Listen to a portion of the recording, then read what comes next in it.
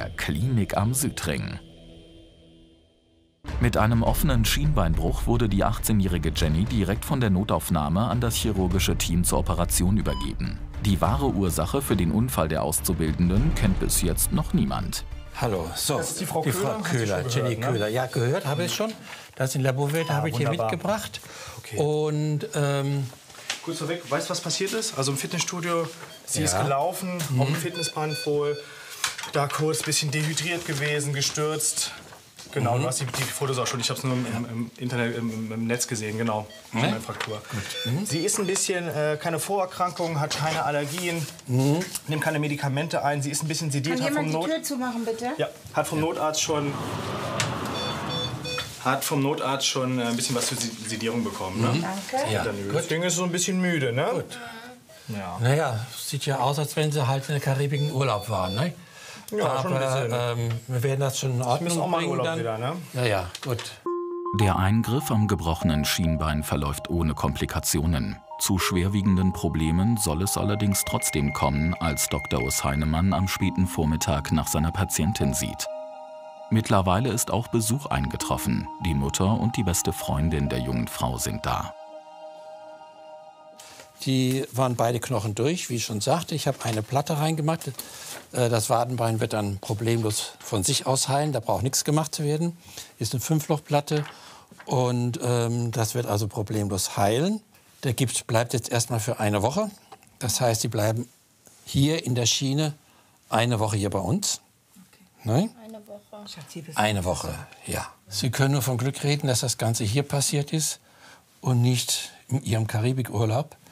Denn ähm, Wie kommen Sie da drauf? Was ja, sie ist so schön braun. Ne?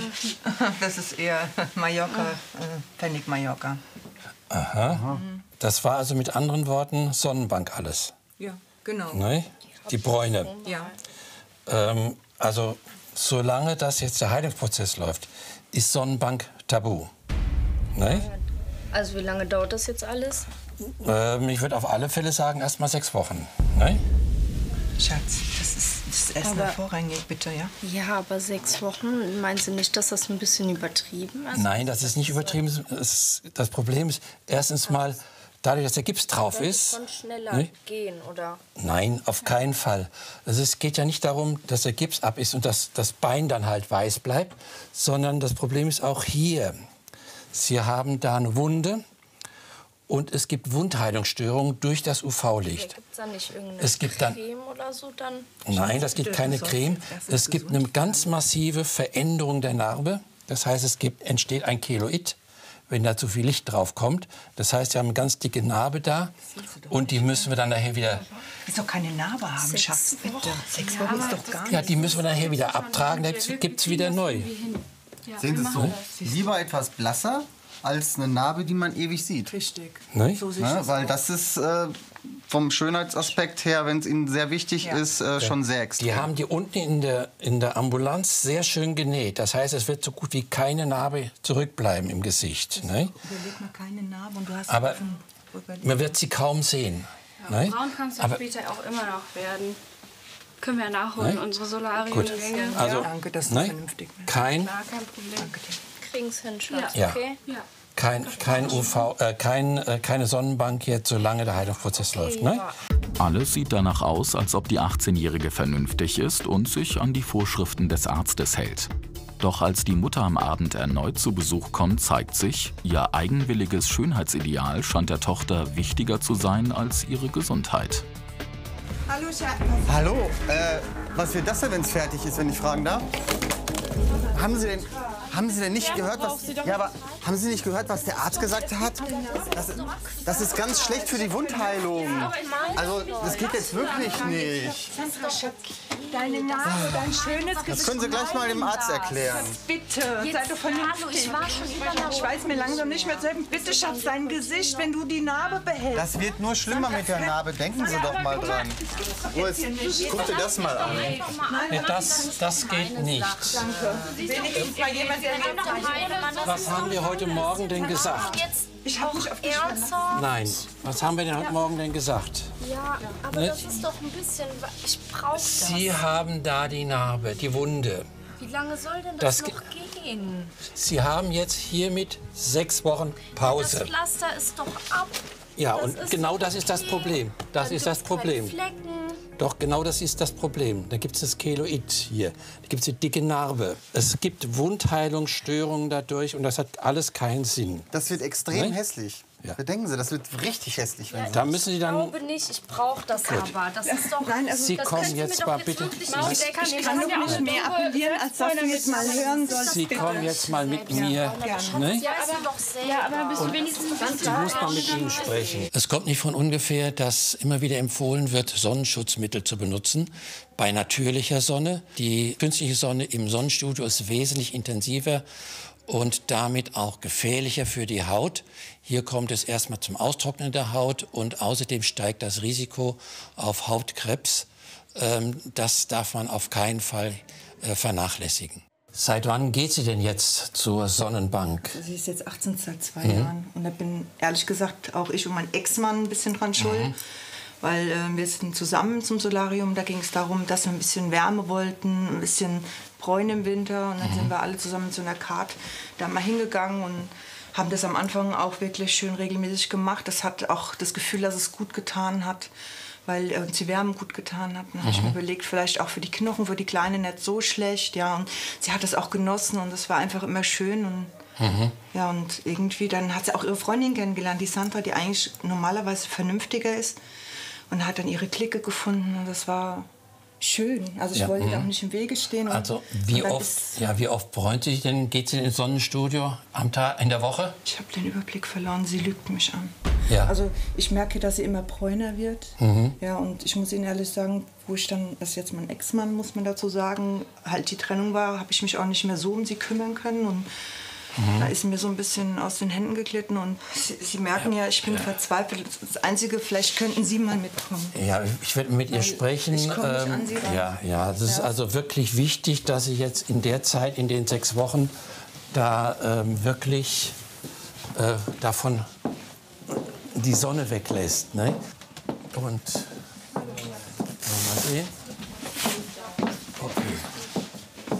Wie sieht's aus? Ja, der Blutdruck ist ein bisschen Alles niedrig. gut. Die Herzfrequenz ist ein bisschen hoch, 120. Okay. So ein bisschen aufgeregt jetzt hier wegen der ganzen Was ist denn? Situation. Nein, ich bin nicht aufgeregt. Mich nervt das hier einfach nur alles. Ich will einfach nur meine Lampe wieder haben, die ihr mir weggenommen habt. Bitte.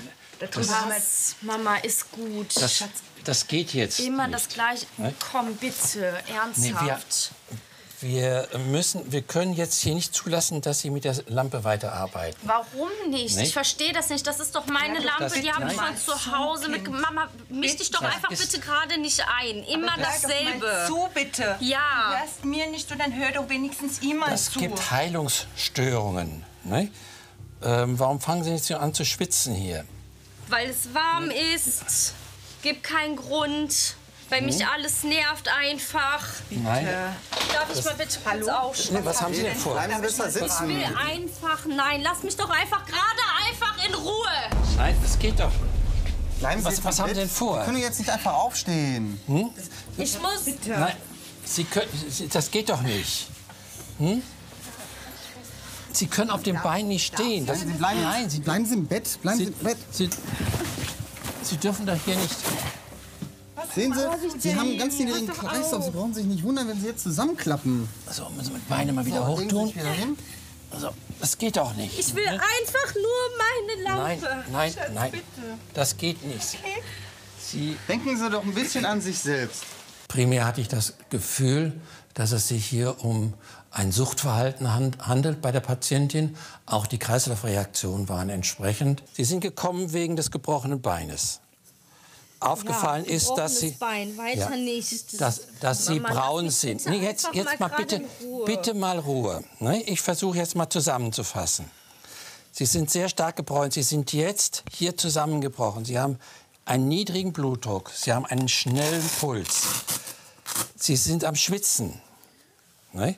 Sie sind einfach aufgelöst. Und das ist ein Suchtverhalten. Das eine, wenn ich das so richtig sehe, eine Tanorexie. Tanorexie ist äh, ein Suchtverhalten in Bezug auf Licht, insbesondere auf künstliches Licht im Solarium. Und äh, das ist genauso wie bei einer Heroinsucht äh, das große Problem des, der Entzugserscheinungen, die halt mit massiven Kreislauf- und körperlichen Reaktionen einhergehen. So, wie ist denn der Unfall passiert? Nein. Hm? 80 zu 50 weiterhin. Ja, äh, Midazolam 2 Milligramm bitte. Ja, hol ich das. Hm?